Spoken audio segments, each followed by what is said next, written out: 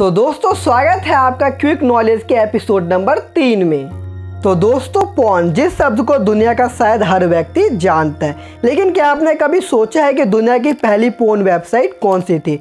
अगर आपने इस बारे में कुछ भी नहीं सोचा तो कोई बात नहीं। इस वीडियो को अंत तक ज़रूर देखिएगा, क्योंकि वीडियो के ख़त्म होने से पहले आपको आपके सभी सवालों के जवाब मिल जाएँगे। तो दोस्तों, दुनिया की पहली पोन वेबसाइट 1994 में गौरी क्रोमेन के द्वारा बनाई गई थी। यह यूएसए में रहने वाला है। इन्होंने सेक्स डॉट कॉम के नाम से दुनिया की पहली पोन वेबसाइट रजिस्टर करवाई थी। दोस्तों, इन्होंने दुनिया की पहली पोन वेबसाइट के साथ साथ दुनिया की पहली डेटिंग वेबसाइट भी बनाई थी, जिसका नाम इन्होंने मैच डॉट कॉम रखा था। दोस्तों, गैरी क्रोमैन ने सेक्स डॉट कॉम को भले पहले रजिस्टर करवाया हो, लेकिन उन्होंने कभी भी इस पर फ़ोन अपलोड नहीं किया। यह उनका व्यक्तिगत तौर पर कहना है। दोस्तों, एक आदमी है जिसका नाम है स्टेपन एम कोहेन।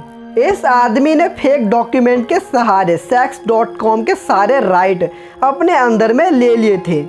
तथा इसी आदमी ने सेक्स डॉट कॉम पर पहली बार अडल्ट कंटेंट अपलोड किया।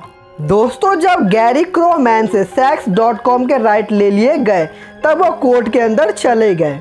तथा काफ़ी वर्षों के बाद 2005 के आसपास गैरी क्रोमैन को वापस से सेक्स डॉट कॉम का राइट मिल गया।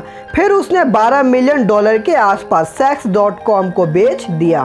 तो दोस्तों, आज के लिए बस इतना ही। अगर वीडियो अच्छी लगी तो वीडियो को लाइक शेयर कमेंट और चैनल को सब्सक्राइब ज़रूर कर दे। तब तक के लिए अलविदा। जल्दी मिलते हैं नए वीडियो में।